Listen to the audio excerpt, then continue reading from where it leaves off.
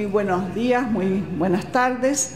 Eh, quería agradecer su presencia de todos los profesores, estudiantes y funcionarios que nos acompañan hoy día y por supuesto en primer lugar también de los profesores María Isabel Fliswich, Jorge Hidalgo y eh, ellos van a, como ustedes saben, ¿verdad? Van a contestar preguntas que se han enviado previamente y vamos a eh, digamos, contar con la eh, presentación de, esta, de este panel con eh, el profesor Raúl Rodríguez, que nos acompaña ahora.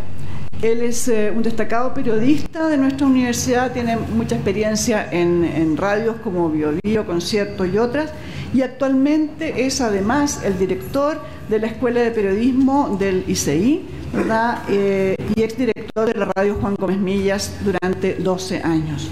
Ejerció además la presidencia del capítulo chileno de la Asociación Mundial de Radios Comunitarias, AMARC.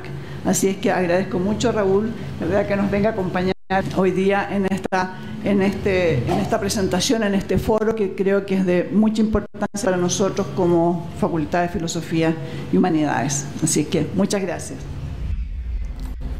Bueno, buenos días a todas y a todos. Eh, gracias a la decana María Eugenia Góngora y también a la invitación que me ha hecho el equipo de Extensión y Comunicaciones para poder moderar este debate decanato 2018-2022 de la Facultad de Filosofía y Humanidades de la Universidad de Chile.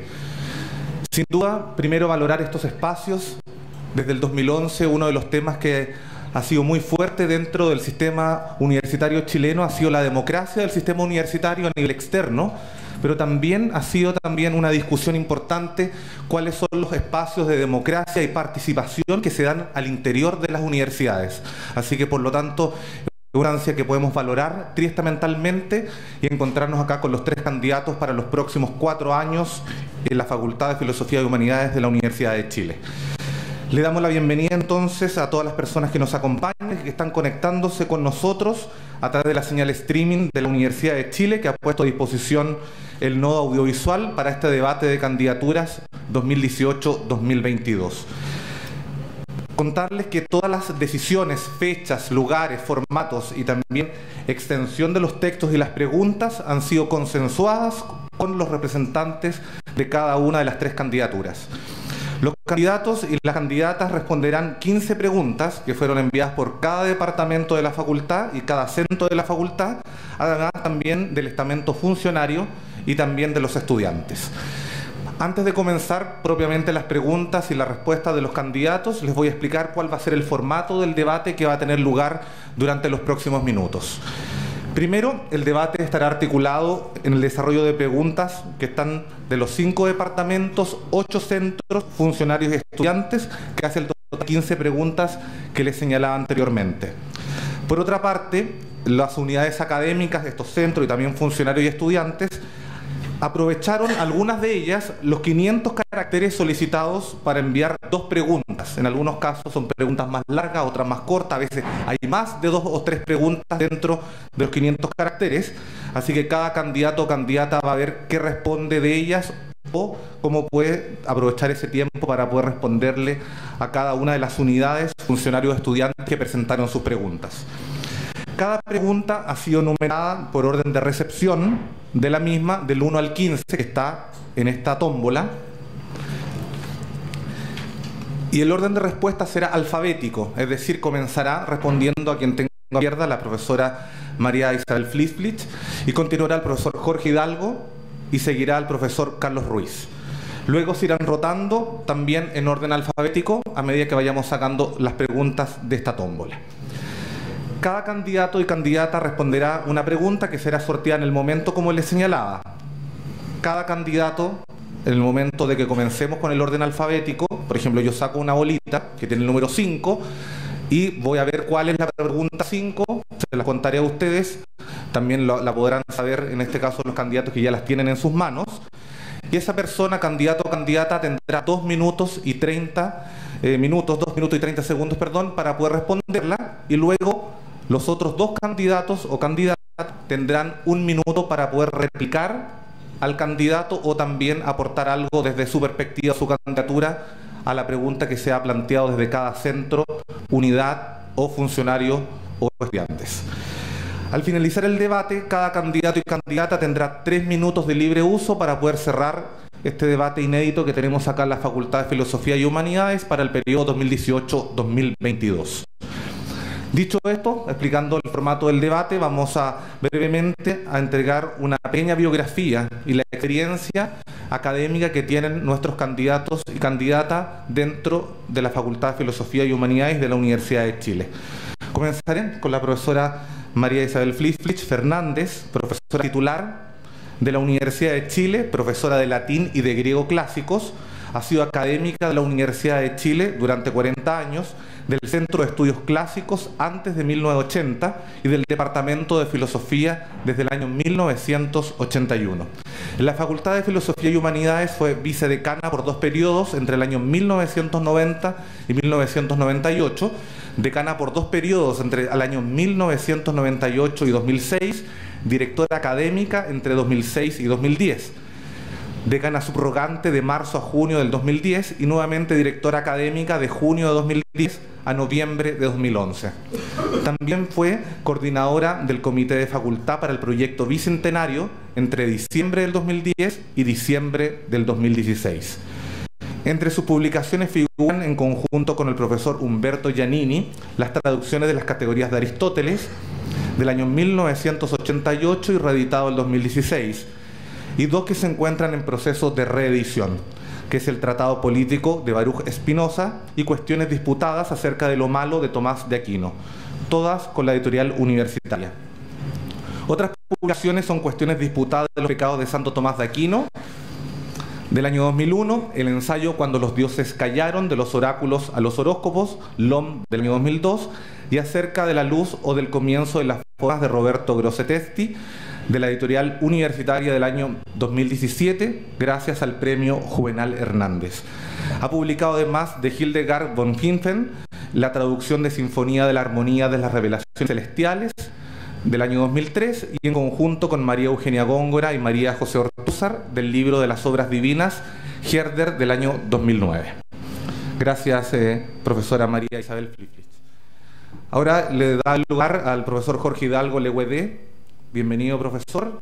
Profesor de Estado en Historia y Geografía por la Universidad de Chile del año 1971, doctor de Filosofía de la Universidad de London del año 1987 y profesor titular de nuestra universidad desde el año 2001, Premio Nacional de Historia del año 2004. También fue coordinador académico del doctorado en Historia de la Universidad de Chile entre el año 2000 y 2006 y 2017 a la actualidad director del Departamento de Posgrado de la Universidad de Chile entre el año 2002 y 2006, miembro de número de la Academia Chilena de Historia del año 2008, decano de la Facultad de Filosofía y Humanidades del año 2006 al 2010, conservador del Archivo Nacional entre el año 1990 y 1994, coordinador académico de la red de posgrado Humaniora 2011-2017 y presidente del Comité Editorial en el directorio de la editorial universitaria entre el año 2012 y 2007. Ha sido profesor en diversas universidades en Chile y en el extranjero. También podemos decir que entre sus diversas publicaciones destaca Historia Andina en Chile en dos volúmenes, 2004 y 2014, y más de 100 publicaciones que son en alto porcentaje resultados de proyectos Fondesit, de los que ha sido investigador responsable. Ha investigado la historia andina colonial de los corregimientos de Arica, Tarapacá y Atacama, analizando sus transformaciones y procesos demográficos, económicos, políticos y religiosos, destacando su capacidad de participación dentro de las condiciones de la sociedad europea criolla dominante. Muchas gracias, profesor Jorge Hidalgo. Ahora queremos también conocer un poco de la historia de trabajo académico del profesor Carlos Ruiz Schneider. Bienvenido, profesor, licenciado en Filosofía de la Universidad de Chile. En 1996 obtuvo la habilitación para la dirección de investigaciones en la Universidad de París 8. En la actualidad es profesor titular de la Facultad de Filosofía y Humanidades y de la Facultad de Derecho de la Universidad de Chile. Es senador universitario de nuestra misma casa de estudios, siendo su vicepresidente entre los años 2014 y 2016. Es el actual director de investigación y publicaciones de la Facultad de Filosofía y Humanidades y entre el año 2011 y 2014 fue director del Departamento de Filosofía. Sumado a estos cargos de gestión universitaria, Carlos Ruiz cuenta con una larga trayectoria académica, la que se evidencia en sus múltiples publicaciones y en su constante participación en proyectos de investigación, contando además con reconocimientos externos. En el año 1993 obtuvo el Premio Municipal de Literatura por el premio eh, con el libro de Andigo, El pensamiento conservador en Chile, de editorial universitaria, escrito en coautoría con el Renato Cristi, que ya cuenta con dos ediciones. Y en el año 2014 obtuvo el premio Juvenal Hernández por su libro Construcción de Identidad, Creación de Sentido, de la editorial universitaria, escrito en coautoría con el profesor Marcos García de la Huerta. Muchas gracias, profesor, por acompañarnos. Y a continuación damos inicio entonces al periodo de preguntas y respuestas de los candidatos y las réplicas correspondientes en los minutajes que ya señalamos. Recuerden, dos minutos y medio el profesor que le toca responder o profesora y luego la réplica de los otros dos candidatos durante un minuto. La idea es que se ciñan ese tiempo y que puedan cerrar la idea dentro de ese periodo. Así que damos por comenzado este debate 2018-2022 de Canadá de la Facultad de Filosofía y Humanidades de la Universidad de Chile. Por lo tanto, voy a sacar ahora la primera bolita que va a corresponder al número de la pregunta que voy a tener que leer, obviamente, para todos ustedes, y va a responder en esta ocasión la profesora María Isabel Fliflich.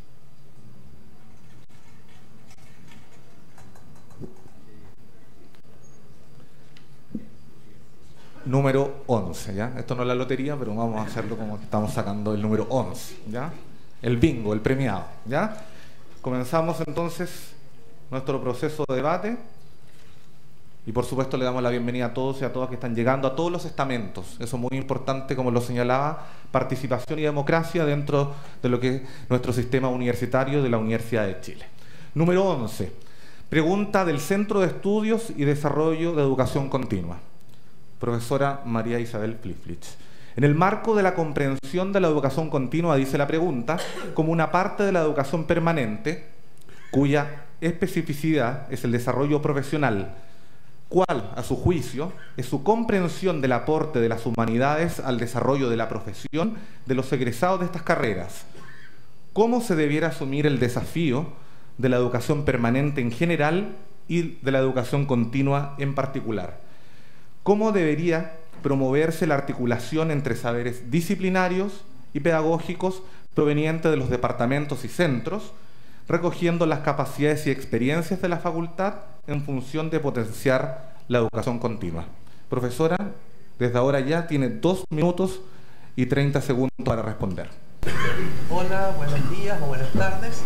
Eh, primero que nada, debo decir que sin haber buscado en internet y en el diccionario educación permanente, lo primero que se me ocurrió fue el verbo permanere. Disculpen que sea tan eh, eh, orgullosa para responder, ¿verdad? Y que quiere decir permanecer a través de, o estar, ¿verdad? Estando a través del tiempo, se viene por lo tanto, ¿qué es lo que entiendo? Que la educación permanente es aquella que el ser humano comienza a recibir desde el minuto que nace, ¿verdad? Hasta que se muere. O sea, puede ser a través de cosas formales o informales. Entiendo que eso será lo que se refiere este centro eh, por educación permanente. Y la educación continua es lo que se lleva a cabo acá. ¿no? que es eh, llevar a cabo diplomados, cursos, etcétera, etcétera, fundamentalmente para profesores en ejercicio. Pero ¿qué es lo que entiendo acá? Que los egresados de estas carreras, no entiendo cuáles son, serán los profesores, supongo yo, y por lo tanto, ¿verdad? Pienso que el aporte de las humanidades al desarrollo de estas profesiones es fundamental. Obviamente que independientemente de que las carreras sean pedagogía en matemáticas, pedagogía en física o pedagogía en filosofía, ¿verdad? Da exactamente lo mismo cual sea la disciplina. Considero que las humanidades y la filosofía deben estar presentes en la formación de cualquier profesional, de cualquier carrera que se ejerza, ¿verdad? En este país y en cualquier parte por lo demás. Ahora, el desafío de la educación permanente en general, pues no lo sé. Yo creo que el desafío de la educación permanente es una cuestión que pasa por la cosa política, obviamente, ¿no? Eh, con la cosa política porque depende, ¿no es cierto?, de en qué país estamos, en qué continente estamos. Yo creo que en Chile, Sudamérica, ¿verdad?, eh, creo que sí, que hay un, estado de educación permanente a lo largo de la vida de cada uno de nosotros. Ahora, el problema es, ¿no es cierto?, la diferencia de clases sociales, que duda cabe. Entonces, en ese sentido, no sé si nosotros como facultad o el Estado de Chile es el que debería preocuparse, ¿verdad? Por 10 segundos, candidata. Educación permanente. Ahora, la articulación de los saberes y la pedagogía, yo creo que esa respuesta está clara. Tiempo. Muchas gracias.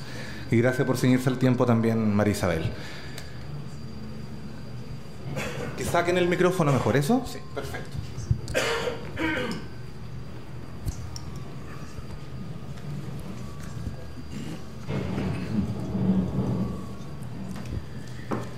Bueno, eh, bueno. Jorge, disculpe, ahora tiene un minuto usted y como dice el dicho, buen debate, puede entrar en controversia respecto a lo que ha señalado la profesora o usted aportar alguna otra idea a lo que es la pregunta que ha planteado el Centro de Estudios y Educación Continua de nuestra facultad. Eh, bueno, buenos días o buenas tardes ya. Eh, quisiera eh, referirme a la última pregunta y que tiene que ver con la formación general que entrega esta facultad, la articulación entre las disciplinas y la eh, y, los saberes pedagógicos, la formación pedagógica. Yo creo que en, ambos, en ambos terrenos eh, nuestros egresados de las disciplinas pedagógicas eh, deberían recibir una, una reactualización de los conocimientos y de las perspectivas que se quieren para los desarrollos curriculares. Sabemos bien que ni en los departamentos disciplinarios es posible entregar toda la información que requiere un profesional en el ejercicio de su carrera con todos los cambios que ocurren en el tiempo. Diez segundos.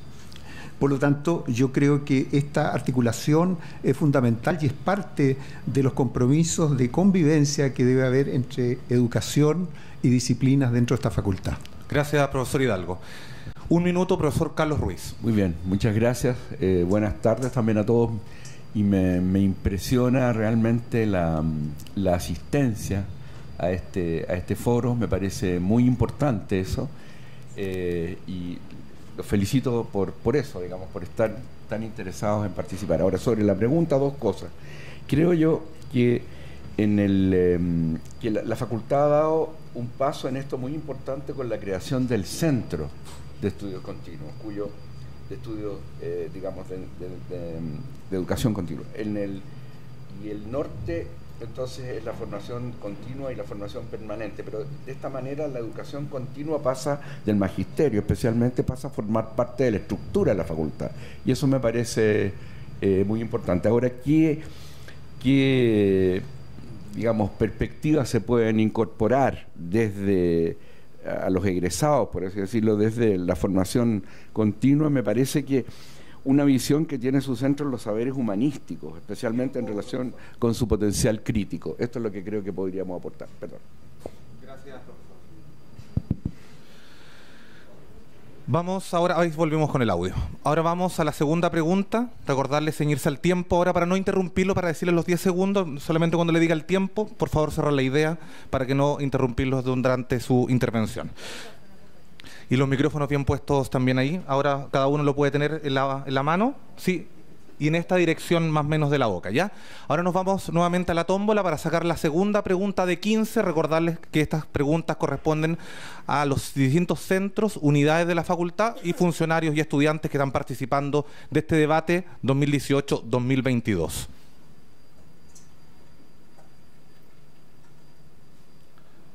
Nos vamos con la pregunta número 13. Exacto, pregunta 13, que corresponde al Centro de Estudiantes de Filosofía y Humanidades. Dice así, las y los estudiantes del pre y posgrado concordamos en que la facultad existen dinámicas neoliberales y patriarcales, las cuales se verían reducidas por medio de medidas concretas que fortalezcan la triesta mentalidad. ¿Qué opinión les merece ese diagnóstico? Qué medidas concretas proponen para generar una democracia triestamental más robusta en la Facultad de Filosofía y Humanidades. El tiempo de dos minutos y medio en esta ocasión es para el profesor Jorge Hidalgo. Parece que estoy sin sonido. ahí se escucha, sí. Eh, bueno, yo creo que esta pregunta de los estudiantes es una pregunta fundamental que hay que, hay que plantearse, pero que yo la entiendo de que estas dinámicas neoliberales y patriarcales no son propias solo de la facultad. Es una situación que acontece en la sociedad chilena y en el mundo internacional también. De hecho, estamos viendo todos los días noticias de cómo están reaccionando desde el cine a lo que está pasando en la iglesia.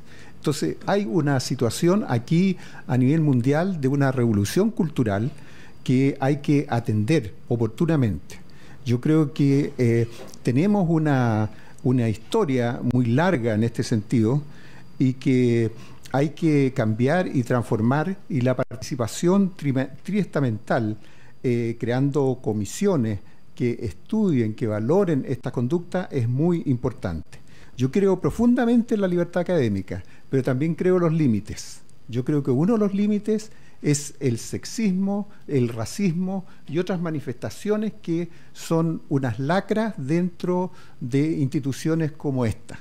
Yo creo que en esos casos hay que crear criterios eh, concordados entre los distintos eh, estamentos de la universidad en, trabajando en conjunto para poner un límite a esas situaciones. Y yo creo que con esto tengo suficiente. Gracias, eh, profesor Hidalgo. Antes del tiempo ha podido responder esta pregunta del Centro de Estudiantes de Filosofía y Humanidades. Un minuto réplica, profesor Carlos Ruiz.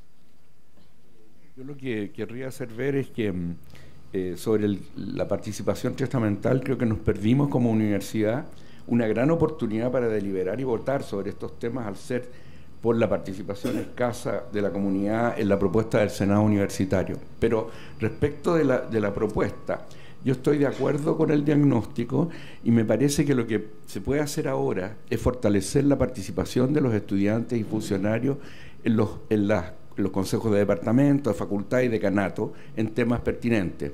Ahora, yo creo que los estudiantes de todas maneras influyen en estos temas aunque no voten, pero yo creo que hay que buscar construir consejos asesores, tal vez del decano, decana, estamentales o de estudiantes y funcionarios. Eh, ahora, esto, por supuesto, tenemos que hacerlo dentro del marco de los estatutos actuales y, entonces ese es el desafío. Gracias, eh, profesor Carlos Ruiz. Es el tiempo de réplica de la profesora María Isabel Flitflich. Gracias. No sé si funciona, ¿sí? Eh, yo participé directamente en la discusión del establecimiento del Senado universitario y fui también senadora universitaria, ¿verdad? Al igual que el profesor Ruiz. Y creo que esa triesta mentalidad que se aplica en el Senado universitario debería aplicarse a nivel de toda la universidad. No acontece así, como tampoco acontece que los espacios en esta facultad o en cualquiera de las facultades según reglamento en que los estudiantes y los funcionarios deben estar, no están. Entonces yo creo que en ese sentido hay que volver a revisar la norma y aplicarla como corresponde. Muchas gracias. Muchas gracias, eh, profesora María Isabel Flitflich, por compartir con nosotros eh, su respuesta. Recordarles eh, que en esta ocasión, a propósito de las declaraciones que han hecho los candidatos por la triste mentalidad, votan en el claustro académico para la elección del decano o decana 2018-2022 184 académicos de la Facultad de Filosofía y Humanidades. Vamos a la tercera pregunta.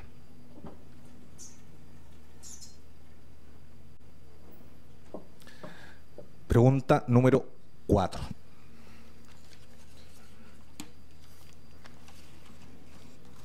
que corresponde al Centro de Estudios Culturales Latinoamericanos. Quien responda ahora es el profesor Carlos Ruiz. Profesor, ¿cuál es su propuesta para el desarrollo de los programas de posgrado en la Facultad de Filosofía y Humanidades, considerando que enfrentan una mayor competencia a nivel nacional e internacional y que la universidad no tiene becas internas para apoyar a los estudiantes? En relación al mismo tema, otra pregunta. ¿Cómo piensa que se debiera apoyar el fortalecimiento de las plantas docentes y de la investigación en los claustros vinculados al posgrado? ¿Cómo considera que pueden potenciarse las perspectivas interdisciplinarias en las investigaciones de docentes y estudiantes. Profesor Dos minutos, 30 segundos. Gracias. Eh, agradezco la, pregunta, bueno, que son varias preguntas en realidad. ¿sí?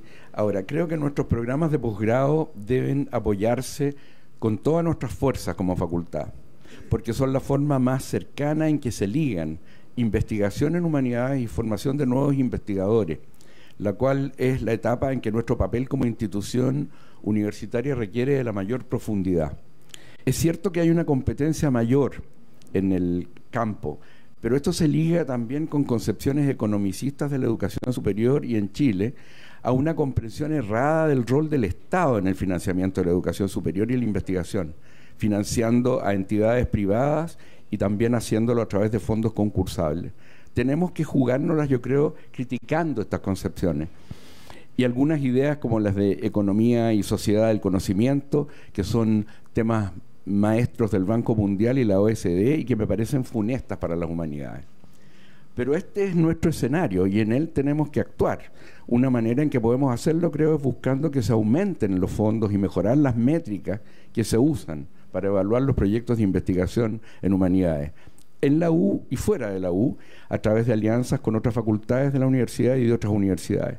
Algo hemos avanzado en esto y hay un compromiso muy importante del rector Vivaldi de crear una subdirección de humanidades en la dirección de investigación de la universidad. Y eso me parece que puede potenciar esta, digamos, este, el, desarrollo de los posgrados en la facultad y en otras partes.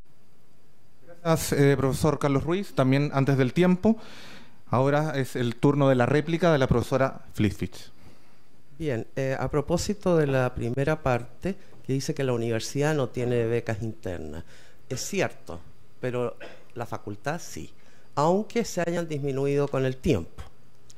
Ahora, eh, ¿cómo apoyar el fortalecimiento de las plantas docentes? Eh, yo creo que la facultad va a tener que hacer una revisión total de la situación en que estamos como departamentos, centros, etcétera, y específicamente en el desarrollo del posgrado, que mi opinión personal es que está bastante mal colocado en este momento. Y creo que sobre la base de una discusión general de toda la facultad vamos a tener que tomar algunas medidas en particular, ¿verdad?, para poder desarrollar todos los posgrados no necesariamente este posgrado. Gracias, profesora. Es el turno del profesor Hidalgo en la réplica de un minuto a contar de este momento. Eh, personalmente considero que el posgrado es efectivamente una de las eh, entidades más eh, fundamentales para la Universidad de Chile de acuerdo con su misión y su visión. Es el lugar donde se crean conocimientos y es el lugar donde se forman eh, académicos para el futuro. Eh, en este sentido, yo creo que el posgrado de la Facultad de Filosofía y Humanidades históricamente ha cumplido un rol eh, muy significativo en la formación de académicos de universidades que no son la Universidad de Chile, aunque también para la Universidad de Chile. muchos académicos de universidades de provincia se han formado en estas aulas y eso está reflejando todavía la fuerte influencia y la fuerte importancia que tuvo la Universidad de Chile como una universidad laica, como una universidad humanista, pluralista, que entrega una visión eh, que nos permite eh, entender mejor cuáles son los deberes republicanos de la universidad. Muchas gracias. Ahora nos vamos a la cuarta pregunta, ya terminamos la primera ronda de este debate 2018-2022 para el decanato de la Filosofía y Humanidades de la Universidad de Chile.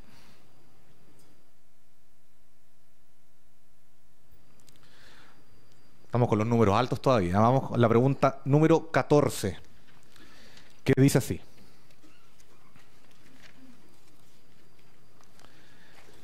Corresponde a la pregunta realizada por el Centro de Estudios Judaicos. Responde la profesora María Isabel Flifich. Profesora, dice, considerando las dificultades que implica funcionar con un departamento ficticio, entre comillas, como el de estudios culturales regionales, bajo el cual se agrupan los centros históricos de la facultad, a su juicio, ¿cuál es la propuesta de los candidatos a decana, en este caso usted, para fortalecer la institucionalidad y autonomía de cada uno de estos centros? Profesora, dos minutos, treinta segundos a contar de este momento. Ok, gracias. Eh, bueno, yo creo que esta no es solo la situación del Centro de Estudios Judaicos, es la situación de todos los centros que se les llama o se les ha llamado permanentes, ¿verdad? Tanto por la universidad como por eh, la facultad. Ahora, estos centros que están bajo el paraguas del departamento, voy a agregar, de estudios culturales regionales, que es una ficción, eso es una realidad, pero eso no es un problema exclusivamente nuestro. Yo creo que nosotros no hemos dado suficiente pelea contra, ¿no es cierto?, las rectorías y los consejos de decanos y bueno, y el Senado no sé si está al cabo de esto. Yo creo que hay que dar la pelea para que estos centros sean permanentes y algunos otros de la facultad también, como CECLA, CGCAL, ¿verdad? Y, ¿no es cierto?, que puedan tener sus académicos propios y que por lo tanto la ficción de su, incluso de su propia existencia, ¿no?, se acabe en la Universidad de Chile y que sean reconocidos. Y eso yo creo que es suficiente para todos los centros. Gracias, profesora. Entonces es el turno de un minuto del profesor Jorge Hidalgo. Bueno, eh, yo creo que el Centro de Estudios Judaicos, como el Centro de Estudios Árabes y el Centro de Estudios Bizantinos, son de los, del tipo de institucionalidad que ha prestigiado la, facultad. Y, esta idea de, un departamento, de un departamento ficticio que fue una solución en algún momento y que ahora despierta críticas tanto del Centro de Estudios Judaicos como del Centro de Estudios Árabes, eh, muestra un nivel de insatisfacción que hay que estudiar y buscar una solución. Yo no estoy en este minuto para entregar soluciones de sacar un cornejo del sombrero, pero creo que hay que, eh, hay que pensar cuando los académicos expresan insatisfacciones, de qué manera podemos contribuir a que esa insatisfacción desaparezca. Gracias, profesor. Eh, es su turno, profesor Carlos Ruiz, un minuto para poder hacer respuesta a la profesora Phillips la, la, propuesta del Centro de Estudios Árabes, que se liga, como dicen, ustedes dijeron, con el, Centro de Estudios Judaicos, me parece que es, interesante. Eh, la idea es, releo, bueno, a lo mejor va a venir esta pregunta, pero no, me estoy anticipando. Eh, la idea es que los centros tengan sus propios profesores, y eso me parece que es una propuesta interesante y que tendríamos que ver. Ahora, eso por supuesto no nos podemos proponer ahora ni decidir ahora, eso tiene que ser un tema de consejo de facultad, pero yo creo que eso podría ser una vía para ayudar en esta, digamos, en esta eh, permanente tensión a veces entre centro y departamento. Gracias. Gracias, profesor. Recordarles que pueden apagar los celulares, dejarlo en modo avión o en silencio, por favor. Recordarles que estamos saliendo por streaming de la Universidad de Chile gracias al nuevo audiovisual de nuestra casa de estudios.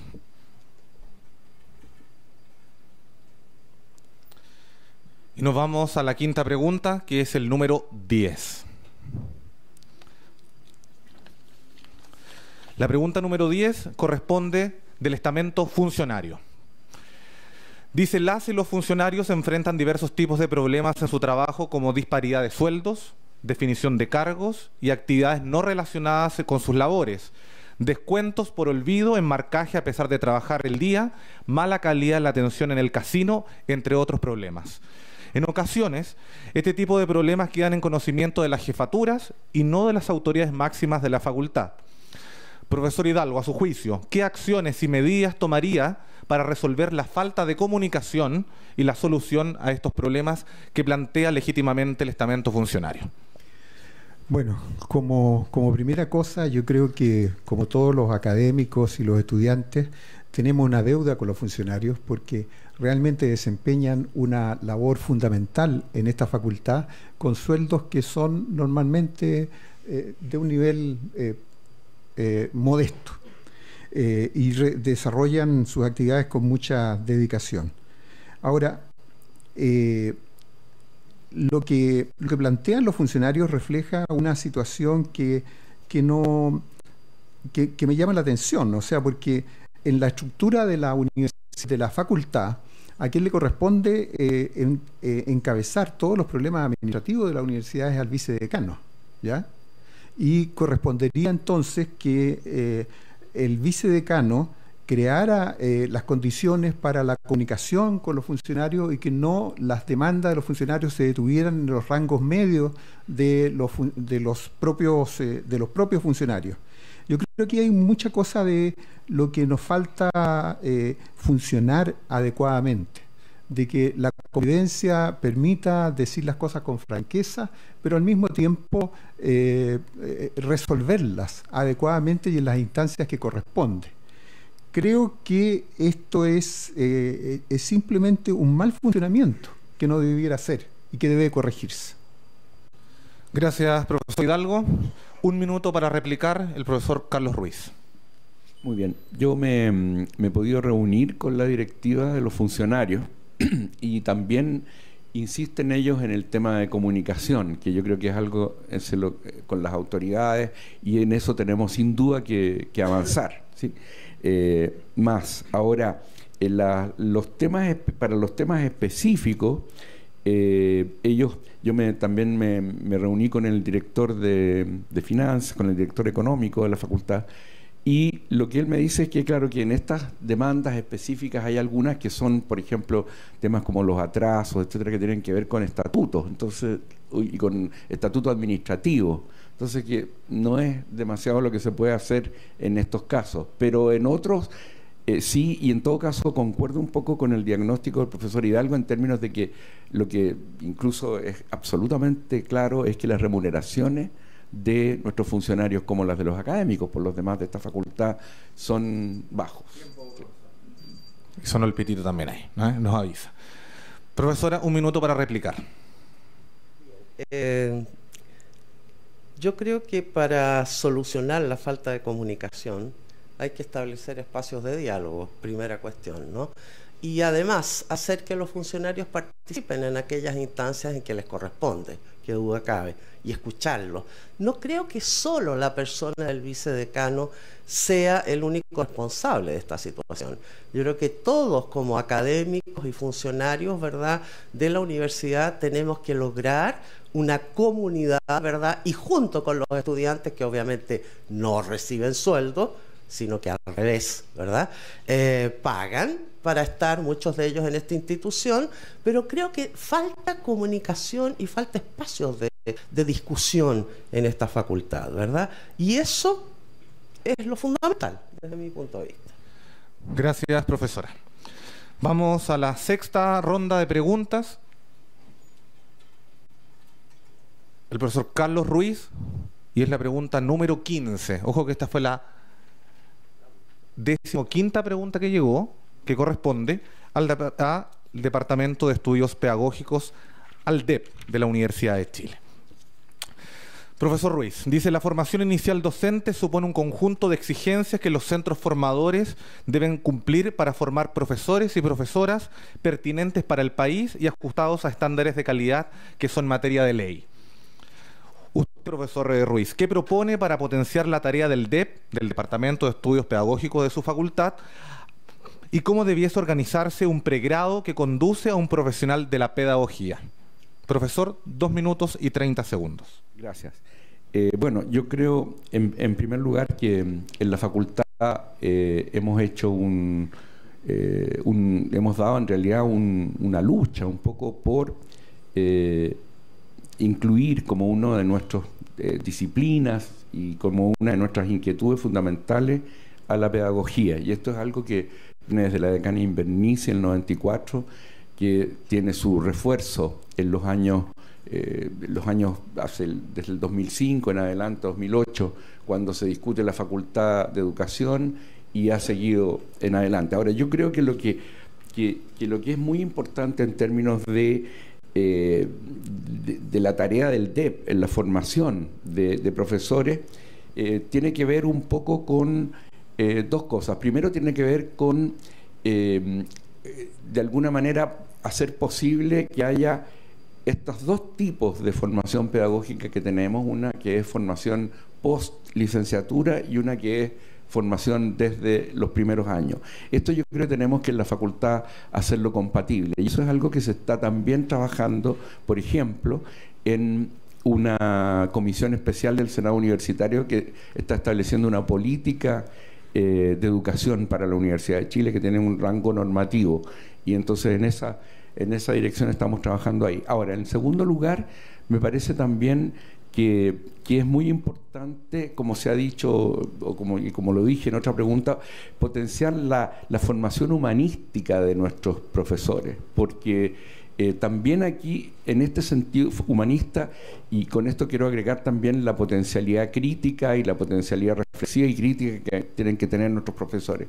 Porque en esto también la educación, hay que tener conciencia, es un campo en disputa en la Universidad de Chile.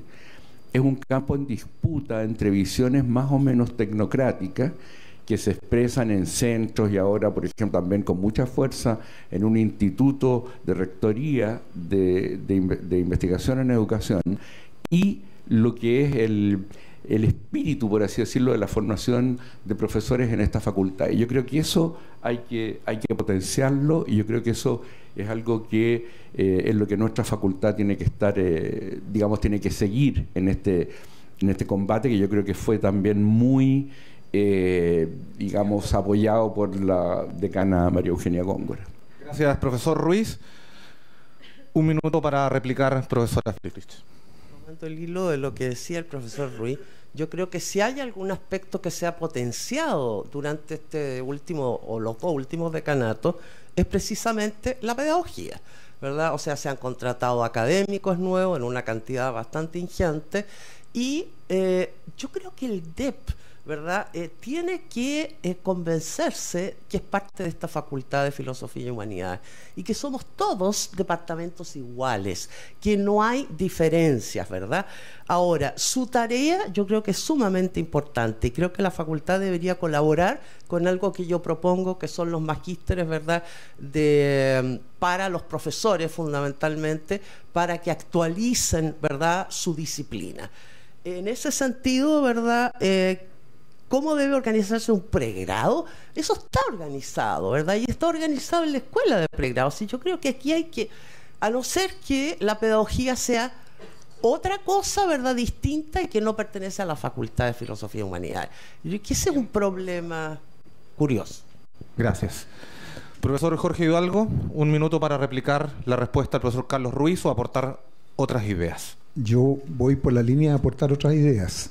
Creo que el Departamento de Estudios Pedagógicos forma parte esencial de esta facultad eh, y que tiene una historia muy larga en la propia Universidad de Chile que ha centrado durante su larga trayectoria en nuestra facultad la formación de profesores.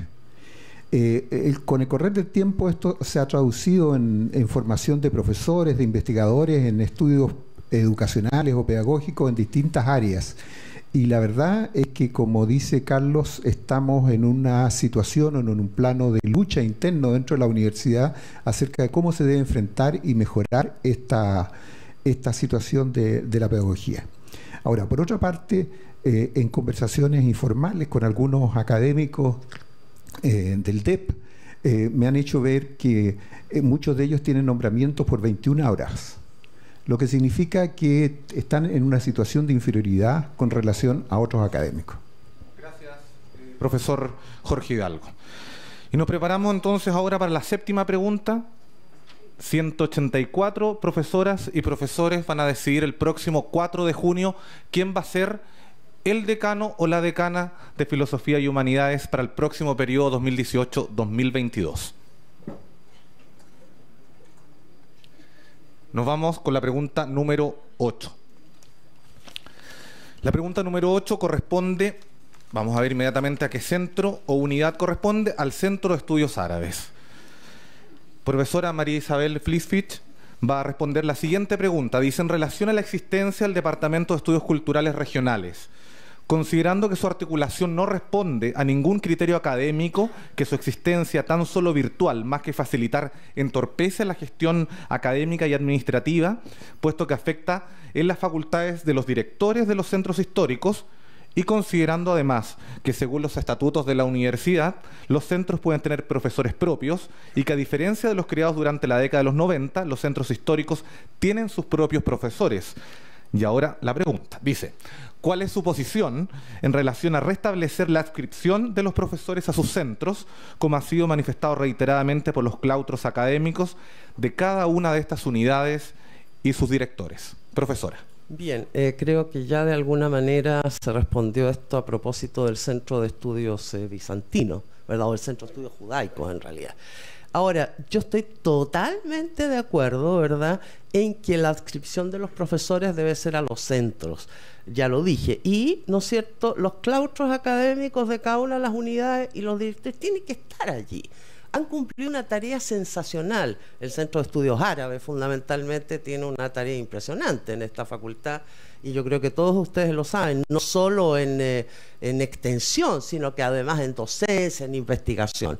Por lo tanto, yo creo que hay que dar la pelea ante el Consejo Universitario y ante el Senado para que estos centros vuelvan a tener su propia instancia, ¿verdad? Que sean académicos de ese centro, ¿verdad? Y que borremos de una buena vez del mapa ese departamento fantasma. Gracias, profesora. Profesor Jorge Hidalgo, un minuto para replicar a contar de este momento? Bueno, como he señalado anteriormente, yo creo que estas son cuestiones que hay que estudiar. ¿ya? Hay que revisarlas, en crear comisiones que analicen esto con más detalle y luego de eso tomar un acuerdo del Consejo, del consejo de Facultad y, llevar adelante estos acuerdos a las instancias superiores. Ahora, eh, yo creo personalmente de que hay una diferencia importante entre los centros históricos y los centros nuevos. Los centros históricos están centrados en temas muy específicos, ya centro de estudios bizantinos, centro de estudios árabes, centro de estudios judaicos. Los centros nuevos, centro de estudios culturales eh, americanos, el, centro de estudios de género, son de por sí centros interdisciplinarios y que por lo tanto la pertenencia de esos investigadores que están incluidos en esos centros es perfectamente normal porque es precisamente la intención de la universidad que los centros interdisciplinarios congreguen personas que vienen de distintos orígenes y que den origen... Tiempo, profesor. Muchas gracias por ceñirse al tiempo. Profesor Carlos Ruiz, usted puede replicar lo que ha dicho la profesora Filipich o también poder aportar con otras ideas o propuestas. En, general, como lo dije también en la una pregunta anterior, comparto este criterio que propone el Centro de Estudios Regionales eh, en términos de la adscripción de profesores. Ahora, eh, pero eh, yo creo también que hay que proceder aquí con tomando, tomando bastantes resguardos en términos de lo que dice el profesor Hidalgo, porque efectivamente los concursos y además a lo mejor de pronto no es malo que haya profesores que tengan esta eh, sobre todo si se quiere generar interdisciplinariedad, que tengan esta adscripción diferenciada. Pero esto ha generado más problemas aparentemente que ha solucionado eh, cuestiones que estaban presentes. Entonces yo creo que la idea central tendría que ser, claro, en el Consejo de Facultad que eh, los miembros de, los centros estén como profesores adscritos fundamentalmente a los centros. Gracias, profesor Carlos Ruiz. Cuando son las 12 con 27 minutos estamos en la mitad del debate 2018-2022 para elegir al decano o decana del próximo periodo 2018-2022 de nuestra universidad. Pasamos entonces a la pregunta número 8 que va a responder el profesor Jorge Hidalgo y van a replicar. No, la, la, la secuencia 8. Ahora vamos a ver el número. Claro, la octava. La octava pregunta corresponde al número 12. Del Departamento de Ciencias Históricas, profesor, dice, usted, ¿cómo se plantea conciliar el creciente aumento de la matrícula y las subsecuentes recargas en docencia que esto implica con un genuino fomento de la investigación y sus derivados? ¿Cuál, a su juicio, debiera ser la relación entre los centros y departamentos en los siguientes ámbitos? Uno, criterios de contrataciones de los centros y el departamento. Perdón, criterios de contrataciones de académicos que no siempre coinciden, perdón, entre las necesidades de los centros y el departamento. Dos, derecho a voto en elecciones de autoridades. Y tres, responsabilidades de gestión. Y finalmente el número cuatro, distribución de la carga académica. Profesor, dos minutos y treinta segundos. Eh, en la carta que dirigí a los académicos, señalaba de que hay un, cierto descontento de los, de, los académicos por el exceso de carga eh, que tienen en sus respectivas unidades y que el crecimiento de la facultad es eh, en ese sentido un tema que debe ser analizado en cada caso eh, en función de, sus méritos y en función también de cuánto es lo que podemos crecer paulatinamente sin contratar nuevos académicos o si es necesario contratar nuevos académicos. Para esto yo creo que hay que crear condiciones para una discusión general en la facultad, porque este es un problema transversal. De esto se quejan muchos departamentos. Entonces hay que crear comisiones que piensen en cuáles son los criterios para el crecimiento de la planta académica. Y estos criterios, a mi juicio, deben pensarse sobre los criterios de justicia, qué es lo que corresponde en cada caso, eh, con, eh, con, criterios también de que sea validado este por las instancias correspondientes y eh, pensando también en la equidad, de pensar de que estos distintos departamentos o distintas facultades que necesitan este crecimiento sea también pensado no solo con el criterio de la propia unidad, sino también de un criterio más general de, de facultad.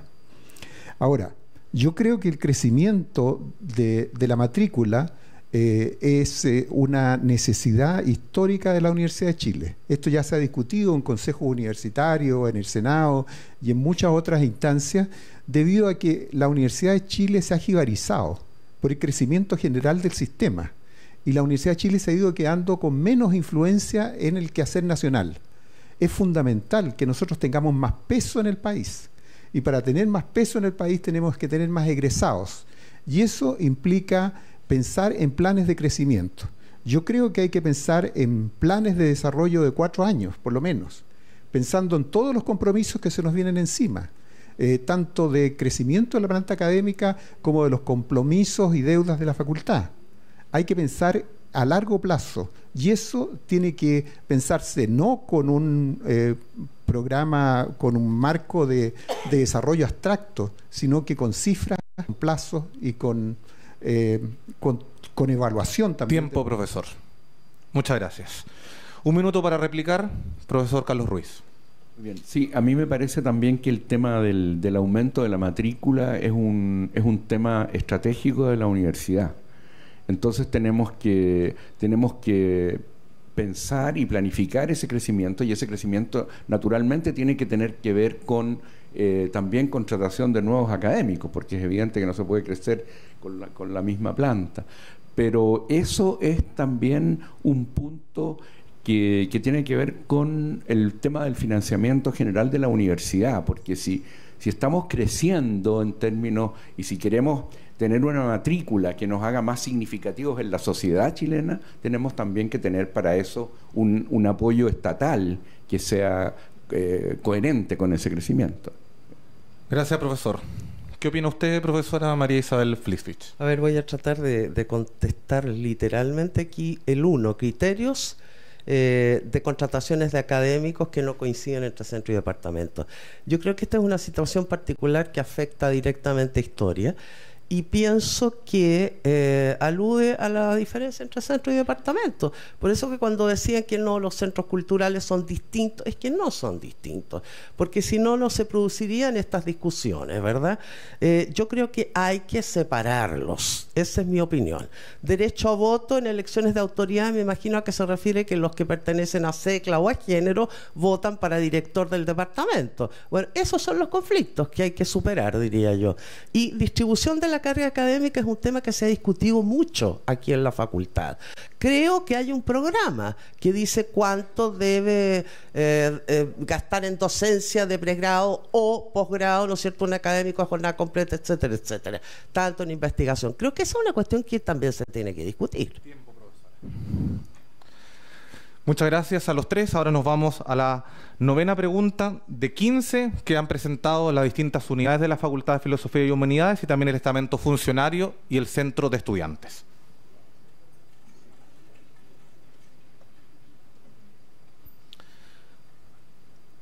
Pregunta número 7, que va a responder el profesor Carlos Ruiz y van a tener un minuto para poder replicar su respuesta o aportar con otras ideas o visiones los profesores Hidalgo y Flispich. La pregunta número 7 corresponde al Departamento de Literatura, profesor Ruiz. Dice, la facultad pretende acoger más estudiantes, es decir, vamos casi en la misma línea de la pregunta anterior, y mejorar la oferta. Por lo tanto, los, académicos deberán administrar ese crecimiento, al mismo tiempo investigar, publicar y participar en concursos para financiar estadías de investigación y visitas de otras universidades sin que se vea una política satisfactoria de parte de la facultad para contratar a los académicos que pudieran cumplir todas estas tareas. En este contexto, y aquí va la pregunta para usted, dice, ¿cuál será la política del futuro decanato, en este caso usted como decano, con respecto a nuevos concursos para completar y ampliar el equipo de académicos o el cuerpo docente? que la, la, respuesta sigue un poco lo que estaba desarrollando en mi respuesta anterior. Eh, ahora, yo creo aquí eh, que hay dos temas tal vez para pensar en general en esta pregunta. El primero tal vez es el tema de financiamiento que señalé antes y el de remuneraciones. Aquí tenemos, como lo hemos hecho ver en el Senado, una brecha para la facultad muy importante por la diferencia entre el reajuste al sector público y los aportes al nivel central, del nivel central, que tiene que ser cubierto por las facultades. Es un sistema que conviene a las facultades con grandes proyectos con el Estado y con privados, pero no a nosotros. Eh, el segundo, pero esto está pendiente todavía en el, Senado, cómo se resuelve este tema que es fundamental para el financiamiento y por lo tanto para, también para crecimiento en términos de contrataciones, concursos, etcétera. Em, en el segundo punto es la normativa sobre remuneraciones, también aprobada por el Senado Universitario hace varios meses y que debiera incidir en una mayor equidad entre las facultades y que aún no se implementa. Yo creo que esta es una tarea muy importante en este sentido porque nos permite crecer eh, para la decana o decano eh, eh, futura. ahora, el segundo tema yo creo también tiene que ver con, esta sobrecarga, esta sensación de malestar y de sobrecarga de trabajo que, está bien difundida por las reuniones que he tenido en, los departamentos, con los departamentos. Y yo creo que esto tiene que ver con el perfil de los académicos y académicas que está enmarcado por la manera como se miden nuestras actividades y las de nuestros estudiantes, probablemente también las de los funcionarios, por las leyes de educación superior y el financiamiento estatal, investigación, acreditaciones, pero también por los concursos internos en la universidad que tienen la misma lógica, internacionalización, estadías y llevos de viaje.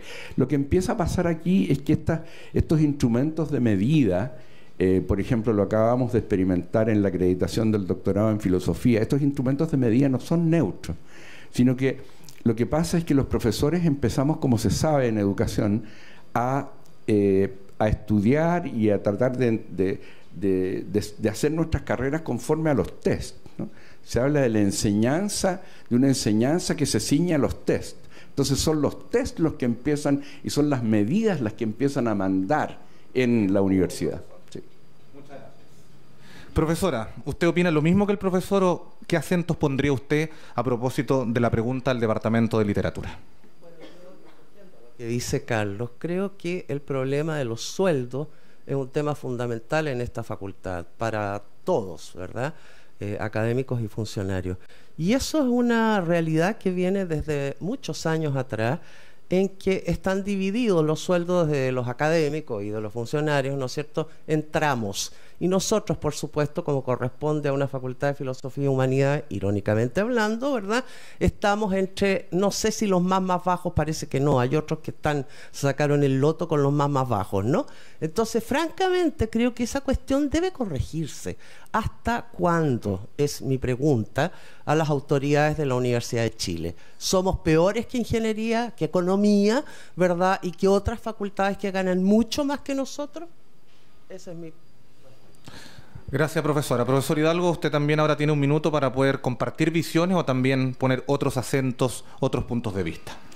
Yo eh, coincido en algunos de los aspectos que acá se han señalado, eh, pero también quiero recordar algunas cosas. O sea, eh, en, este, en el periodo de nuestra decana, hubo un cambio en el presupuesto que recibía la facultad por una, eh, un estudio que hizo el profesor Brieva cuando era decano de la facultad, lo que ha significado un aumento del presupuesto de la facultad de alrededor de 300 millones, entiendo.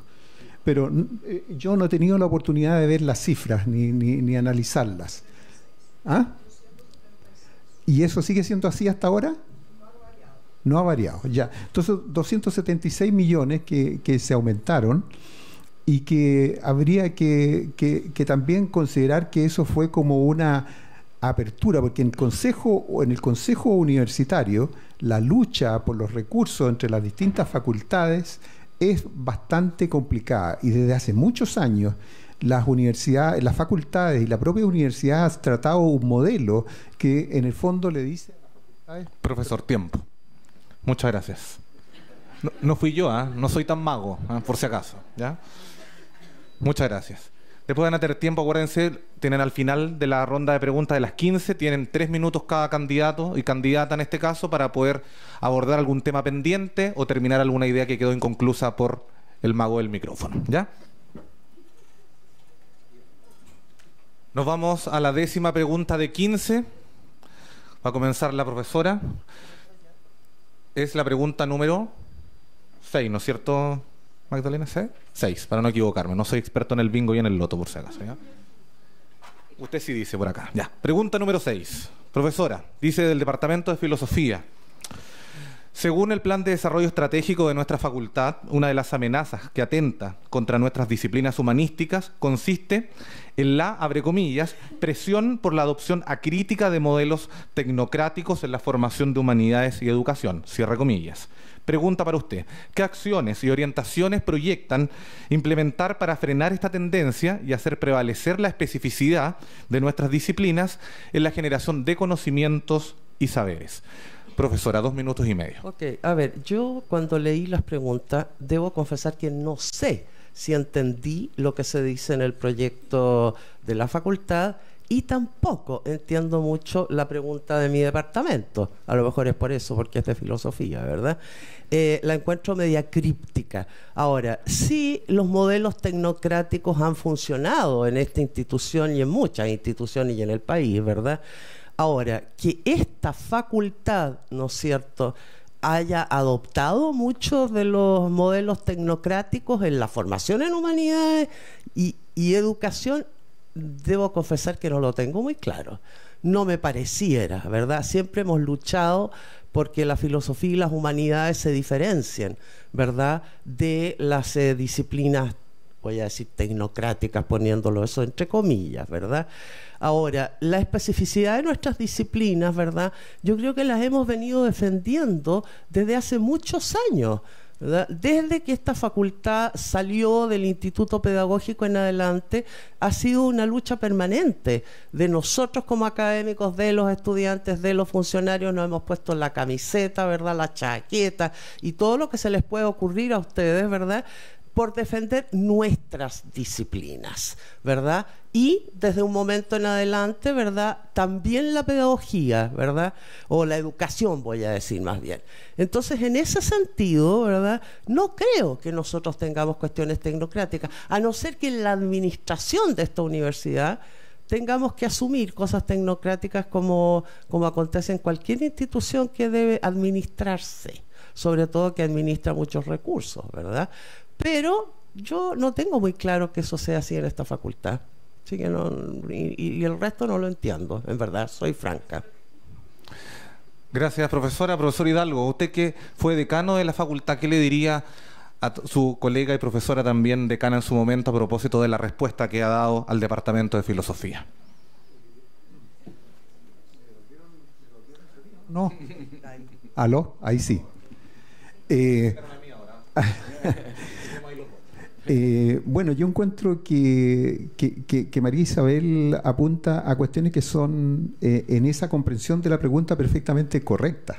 Ahora, yo creo que la pregunta apunta a la idea de que eh, estamos sometidos a algún tipo de, de medición eh, eh, tecnocrática en el sentido de eh, paper, easy, que, ¿cómo se llama? Publicaciones indexadas y cosas de, ese tipo.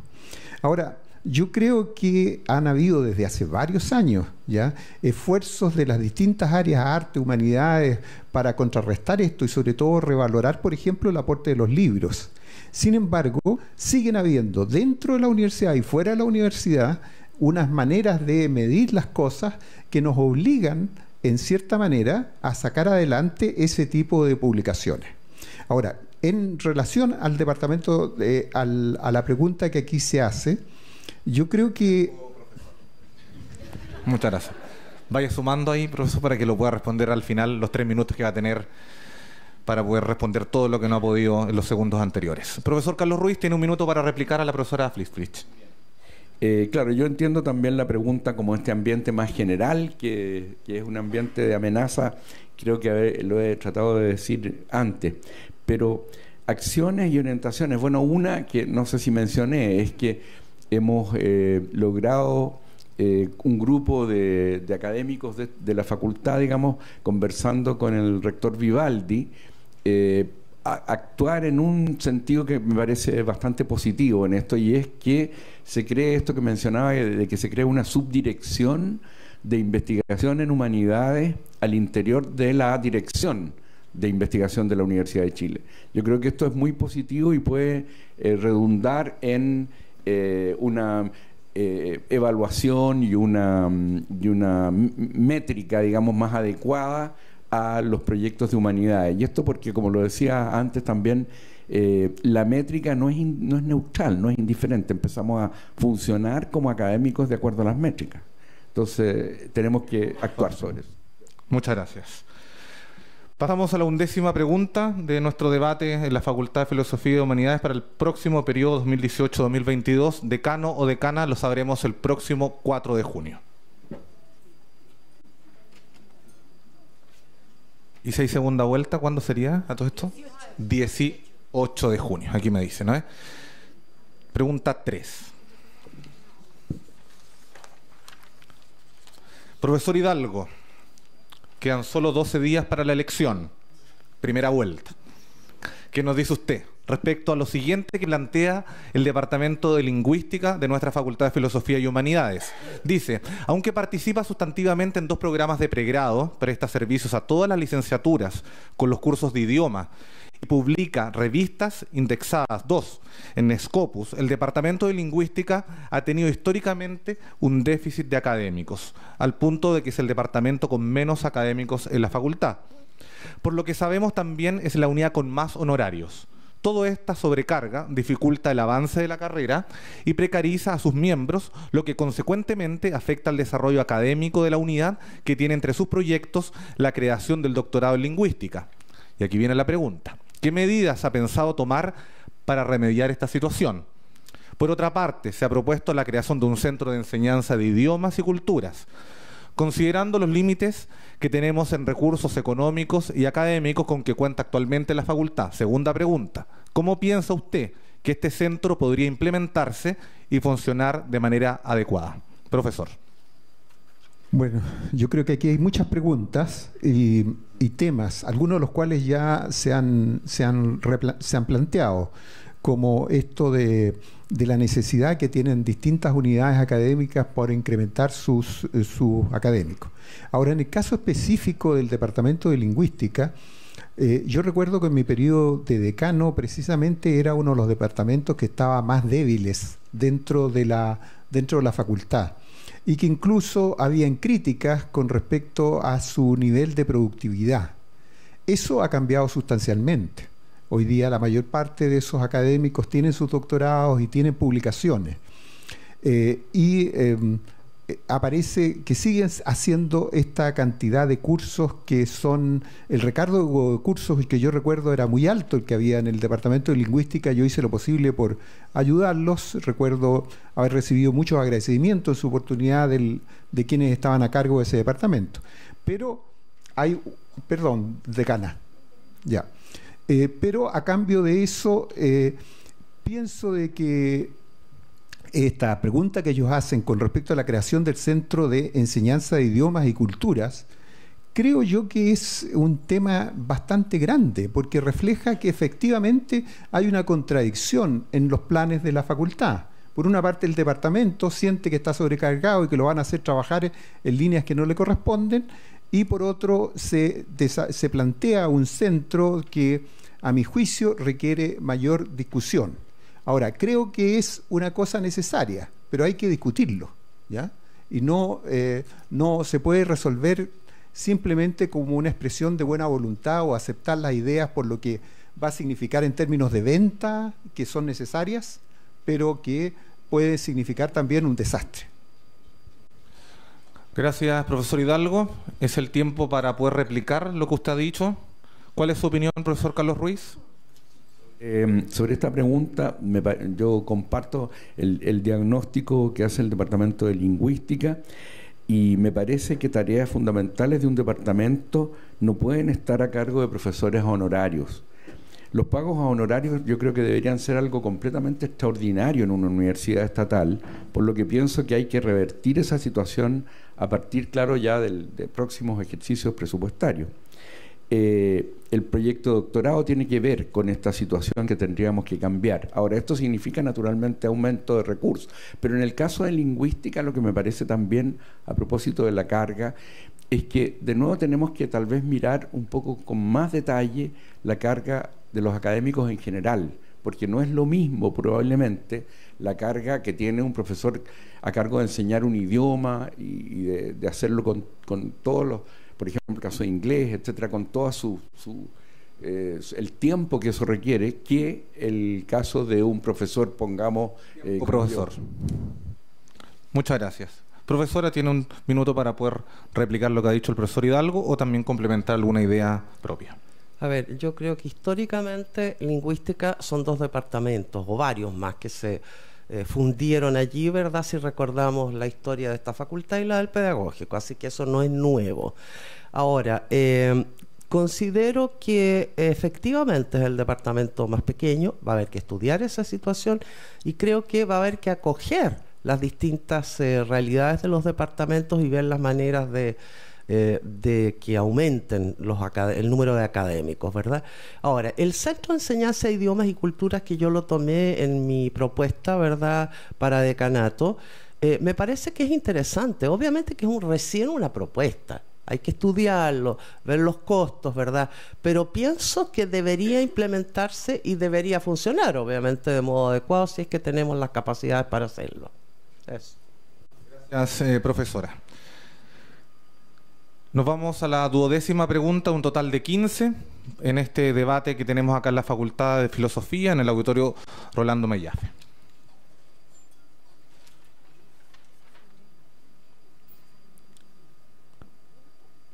Pregunta número 2.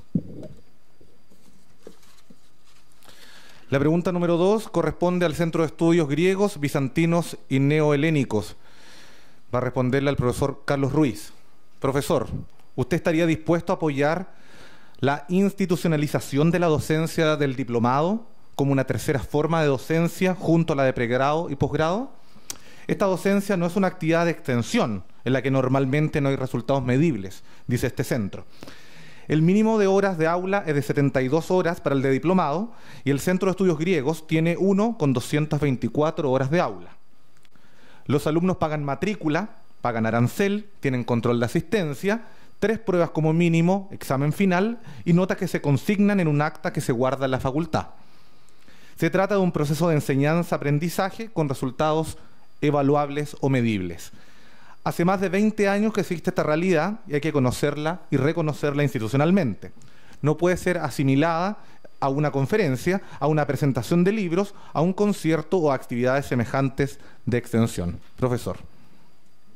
Eh, me parece que como en el caso de los centros eh, judaicos y, los otros centros eh, permanentes de la facultad y los centros en general, esta es una demanda que me parece válida y que comparto. Ahora,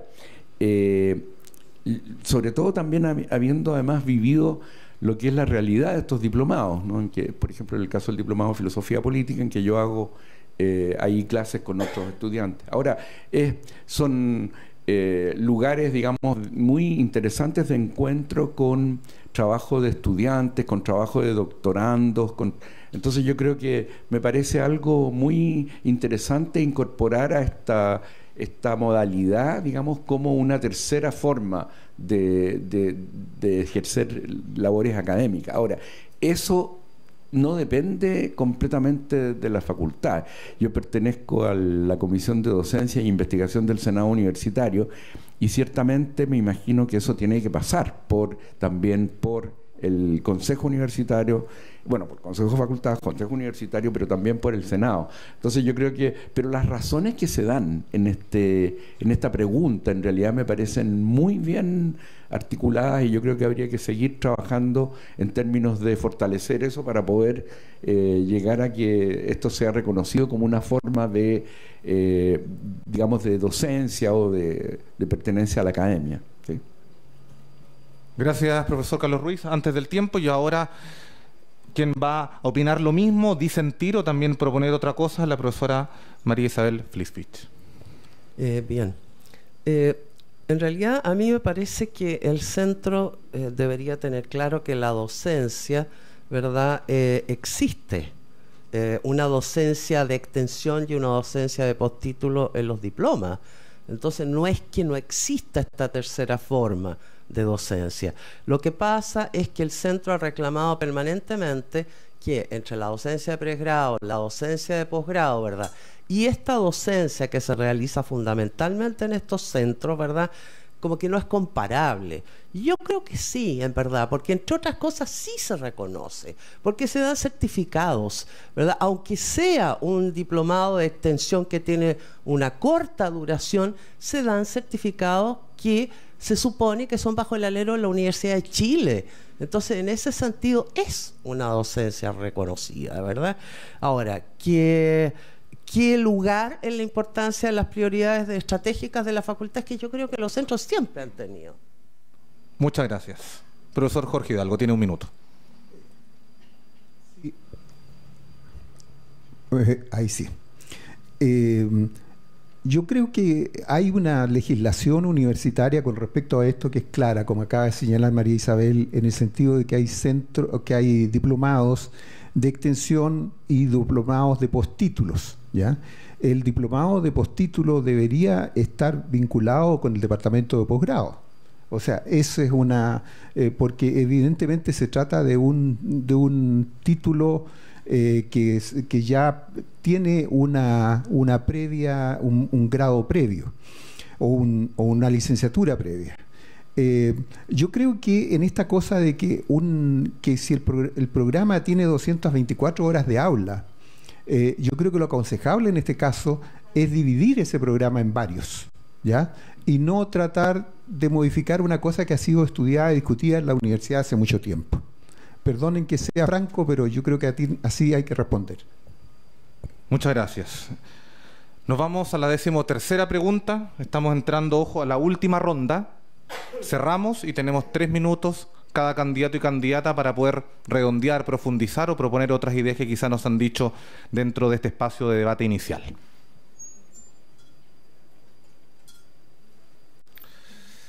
Pregunta número 5. Se demoró, pero llegó. Centro de Estudios de Género y Cultura en América Latina, a propósito de nuestros debates que tenemos en nuestro país y en nuestra universidad. Y quien inicia esta ronda de respuestas ahora, ¿no es cierto?, es la profesora Flisflich. Profesora, dice, ¿se compromete usted con la idea de promover una educación no sexista y la transversalización del enfoque de género en nuestra facultad y universidad con medidas como la creación a nivel de pregrado de cursos obligatorios o la incorporación en los perfiles de egresos de competencias al respecto? Asimismo, segunda pregunta, ¿cómo ve el fortalecimiento a nivel de posgrado de los programas en estudios de género en un contexto de precariedad de contrataciones académicas? Profesora, dos minutos y medio. Bien, la primera pregunta que es absolutamente general, creo que sí, estoy de acuerdo con todo este movimiento que existe hoy en día a nivel país, ¿verdad? Y no necesariamente en esta facultad, sino que en toda la universidad y en muchas universidades. Creo que efectivamente eh, tenemos que enseñarle a nuestros estudiantes desde el momento que ingresan, ¿verdad? Eh, un enfoque de género, ¿verdad?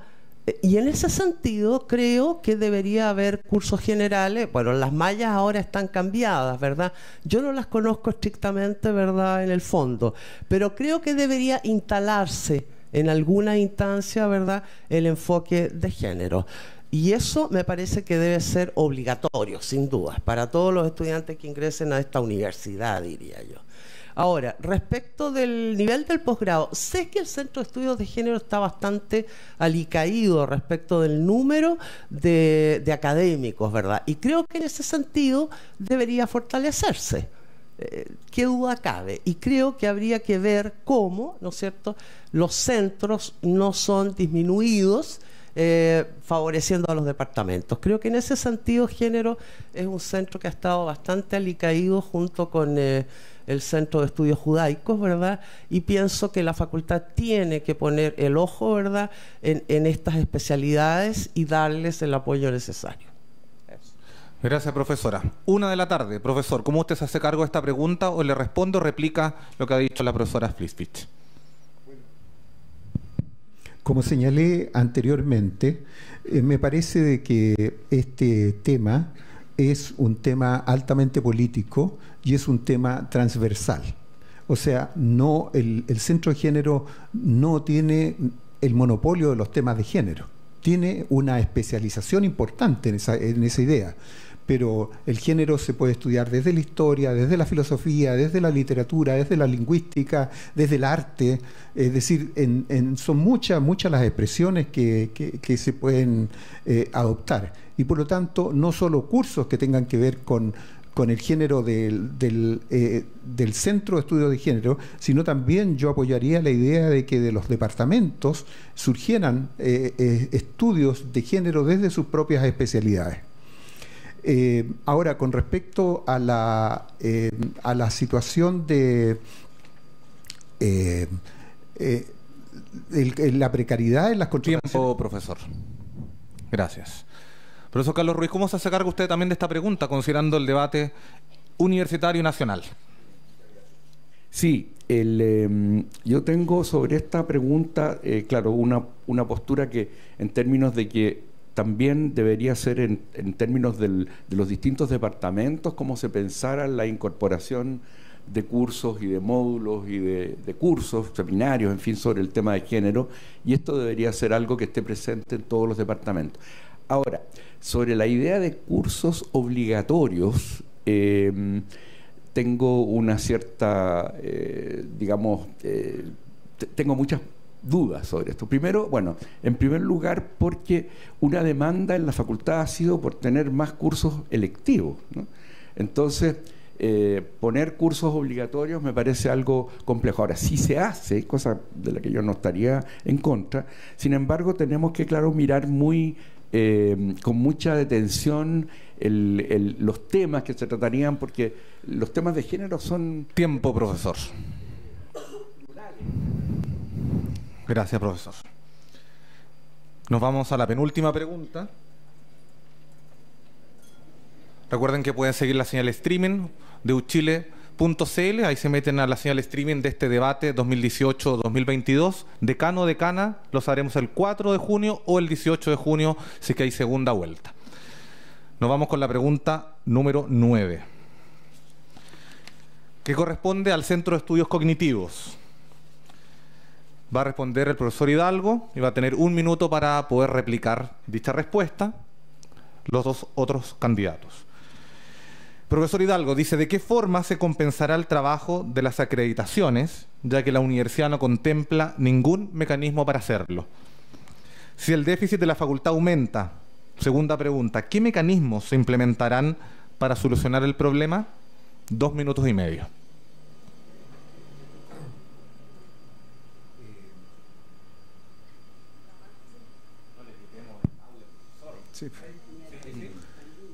Eh, eh, me parece que aquí hay varias cosas que están en, la pregunta, o sea, y que se pueden entender de, distintas maneras. Eh, ¿De qué forma se compensará el trabajo de las acreditaciones, ya que la universidad no contempla ningún mecanismo para hacerlo?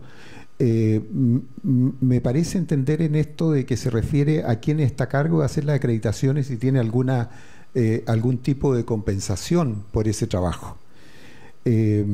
Yo personalmente pienso de que los coordinadores de los programas eh, cuentan con una asignación presupuestaria para ejercer su función y si tienen la mala suerte que les toque hacer la acreditación, yo soy, yo soy de la idea que no, que no implica en este caso una asignación especial, sino que hay que hacerla dentro de los términos que están allí señalados.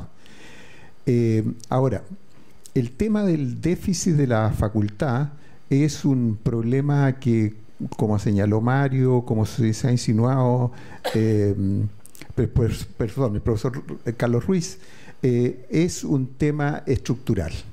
Estamos constantemente sufriendo déficits de la facultad que se producen por cambios de un aumento del gasto en alguna línea eh, no contemplado o que es obligado, que obliga entonces a adquirir estas, estas deudas. Ahora, ¿qué mecanismos se implementarán para solucionar el problema? Yo creo que aquí, eh, mal que nos pese, tenemos que buscar soluciones que por una parte pueden ser políticas a nivel central de la universidad, pero no una política de súplica, sino una política de demanda. Y por otra, eh, también se requiere que nosotros seamos capaces de generar planes de desarrollo eh, perfectamente financiados en un plazo de cuatro años. Eso requiere estudio, requiere participación de los académicos que sean más competentes en esta línea, crear eh, grupos de trabajo y pensar en términos de largo plazo. Yo diría que eh, no hay soluciones mágicas, ¿ya? Y que se nos vienen tiempos muy difíciles en términos económicos y que vamos a tener que saber cómo enfrentarlos, pero tenemos que enfrentarlos desde la verdad, desde la transparencia y desde criterios que sean justos y validados para todos. Muchas gracias. Tiene su tiempo un minuto, profesor Carlos Ruiz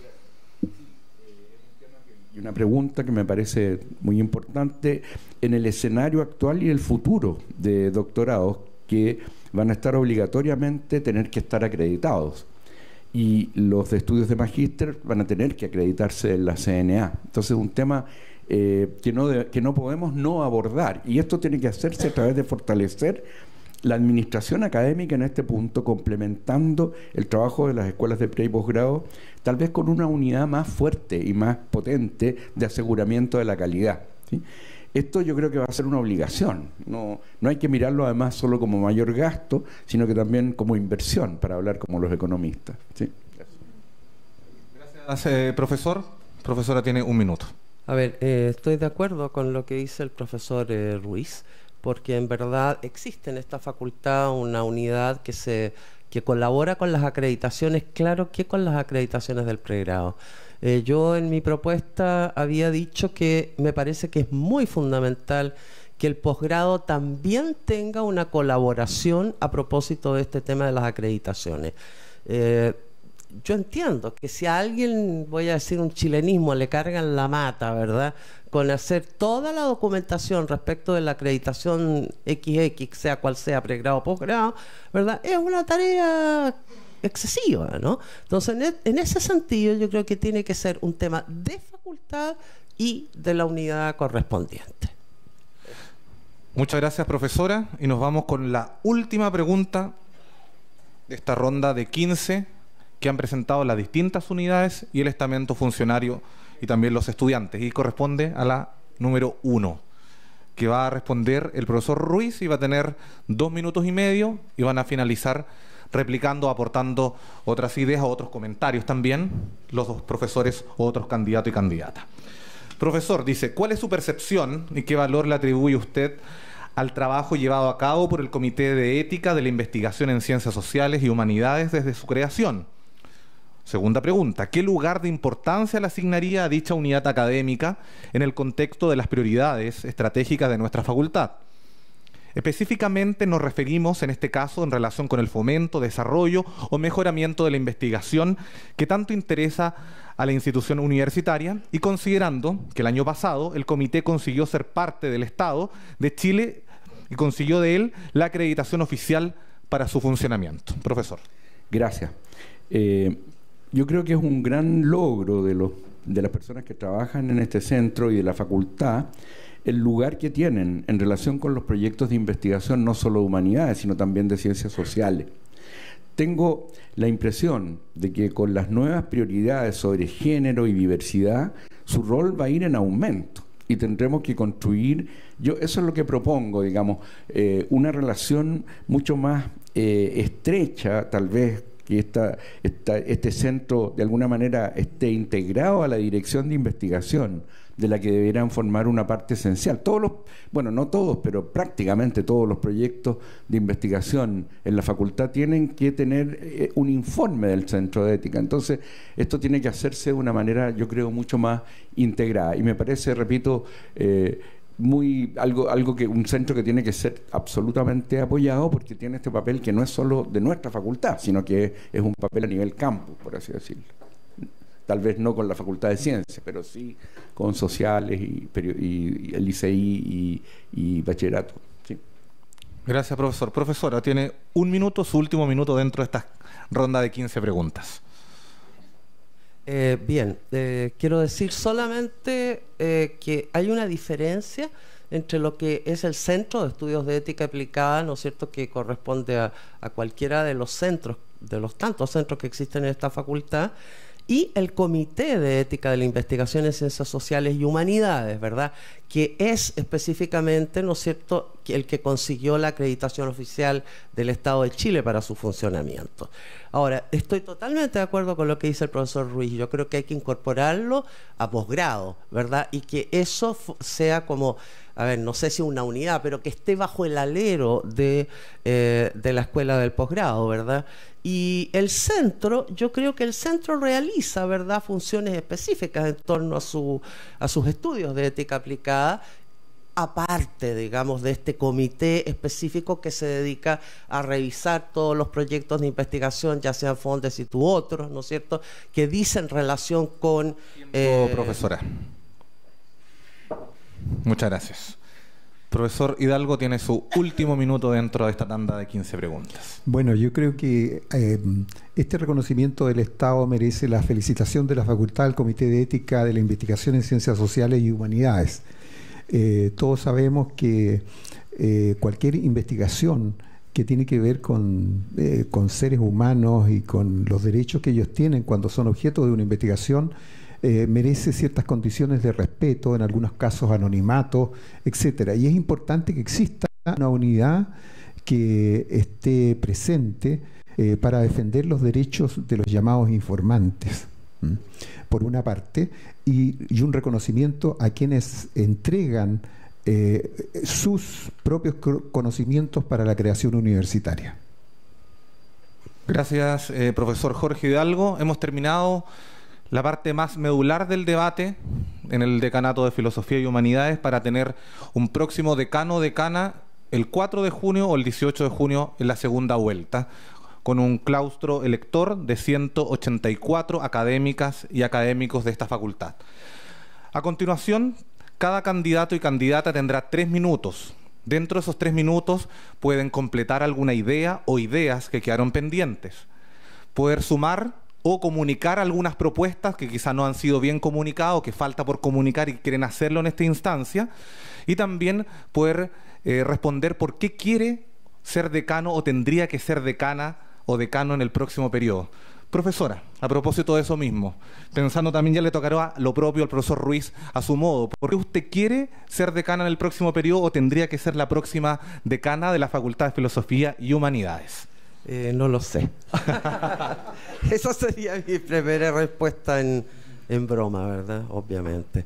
Eh, bien, eh, yo quiero recordarle a los colegas y a los estudiantes y a los funcionarios que yo presenté una propuesta de programa bastante específica respecto de todas las actividades, ¿no es cierto?, que nosotros realizamos, pregrado, posgrado, investigación, eh, extensión, ¿verdad? Eh, y otros puntos, eh, obviamente que administración, ¿verdad? Y la vinculación con el medio. Y a mí me parece que allí, ¿verdad? Hay cuestiones que son interesantes de, ver.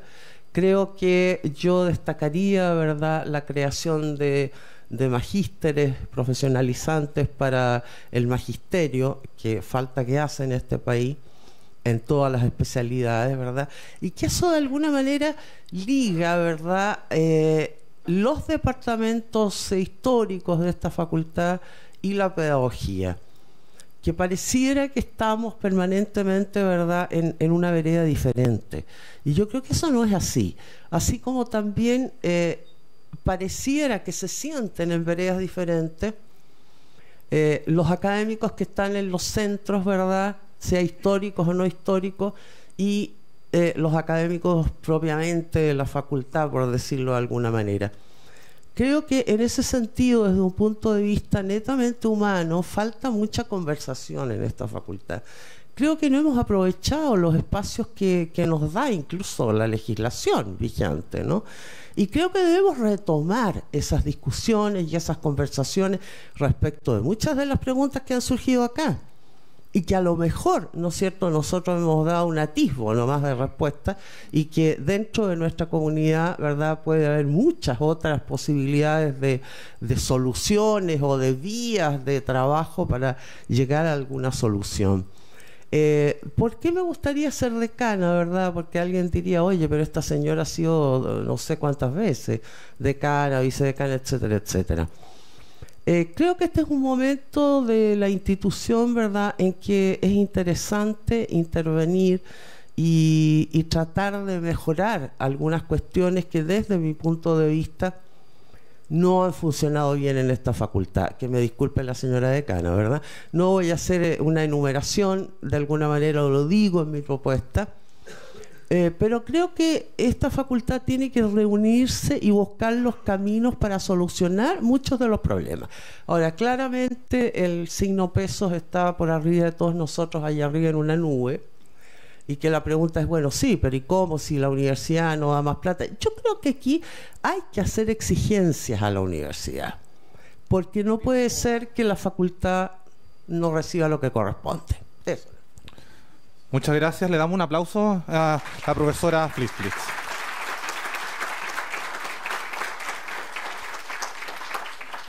Nuevamente, gracias profesora. Profesor Hidalgo, también además de las propuestas y las ideas, ¿por qué usted quiere volver a ser decano en los próximos cuatro años de su Facultad de Filosofía y Humanidades?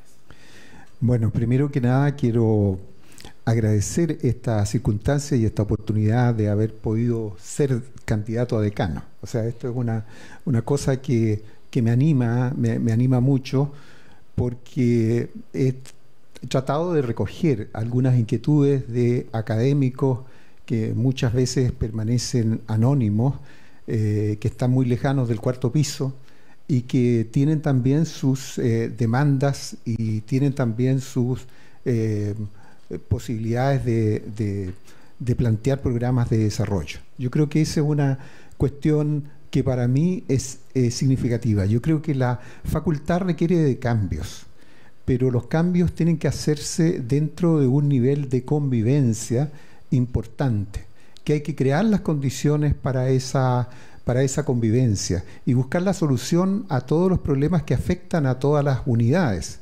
Yo leyendo este conjunto de 15 preguntas, ¿ah? eh, me llamaba la atención eh, que hay pocas preguntas generales. Casi todas las preguntas tienen que ver con las necesidades o las perspectivas de la unidad en sí misma y no pensar en, el contexto político global en que estamos viviendo. ¿Ya? En, el, contexto global que el problema del financiamiento de, de, su unidad es el financiamiento de la facultad también y es el financiamiento de la Universidad de Chile, es el financiamiento de la educación pública, es el financiamiento también de la educación eh, municipal y otras eh, instancias con las cuales en los presupuestos generales de la nación se entra en competencia. Yo creo que tenemos que pensar en términos políticos más globales, ¿ya? Y no pensar con exclusión de quien piensa distinto que nosotros. Yo creo que los principios eh, los, la visión que tiene la Universidad de Chile, es importante rescatarla a cada rato para no caer en exclusiones. Yo creo que es importante que se piense como se piense, eh, reconozcamos en que somos parte de una unidad, de un sistema que requiere de modificaciones, que requiere de ajustes, pero que también tiene que hacerlos en términos de cordialidad y con una mirada de futuro, con una mirada del compromiso que tiene la facultad con Chile. Y con América Latina probablemente. O sea, no, no es tampoco que estemos sesgados a, analizar solamente el contorno o el entorno de lo inmediato. Yo creo en la libertad de investigación, creo en, en la necesidad de desarrollar el posgrado, creo en la necesidad de que continuemos fortaleciendo nuestro pregrado y todas las actividades de extensión que sean posible hacer. Porque los problemas de esta facultad no empiezan aquí, empiezan en un problema Tiempo, país. profesor. Muchas gracias y un aplauso al profesor Jorge Hidalgo.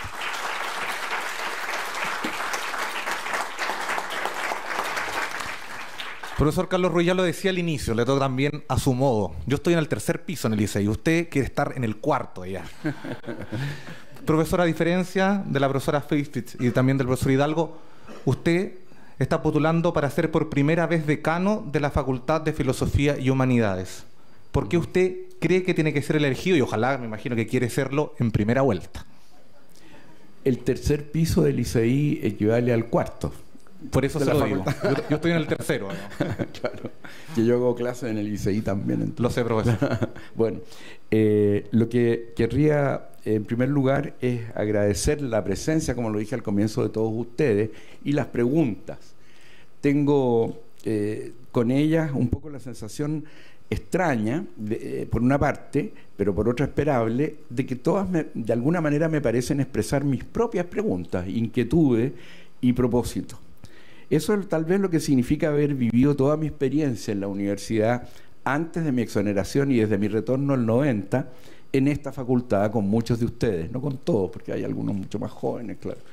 Pero eh, las preguntas entonces me parecen expresar distintas formas de querer hacer algo muy parecido. Ahora yo eh, lo que querría decir en primer lugar es que eh, en nuestro, el, grupo que está trabajando conmigo en esta candidatura, creyó importante que eh, lo que fuera un programa fuera hecho también de una manera colectiva de- desde este grupo, que fueron eh, eh, toda una serie de comisiones abiertas en principio y en eso hemos estado trabajando y vamos a tener finalmente ese, ese programa, por lo menos en sus líneas generales, en esta semana, el viernes, ustedes puedan votar informadamente sobre, ya más en concreto, sobre propuestas de cada candidatura.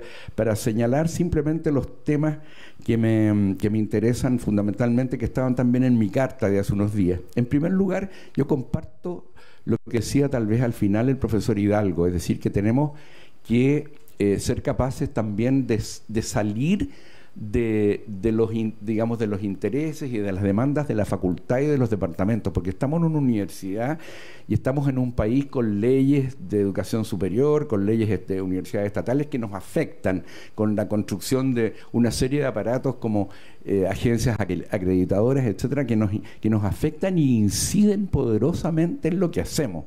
Entonces tenemos que tener más presencia para defender nuestros puntos de vista en la universidad y en el país. Presencia pública en, en- en- en general. Esto me parece un- una cuestión muy importante que yo querría eh, desarrollar en, la facultad. Ahora, eh, como está en mi carta también, estos los temas que me parecen fundamentales son, en primer lugar, esta defensa de las humanidades de la que hemos hablado, también el, el incentivar la participación y la creación de una, de una comunidad más, eh, digamos, con, con mayor eh, cercanía en, en la facultad y eso incluye, por cierto, a los académicos, pero también a los estudiantes y también a los funcionarios. Entonces, eso es un, un segundo desafío que para mí es muy importante. El tercero es el tema de la convivencia. Tiempo, profesor. Muchas gracias. Un aplauso para el profesor.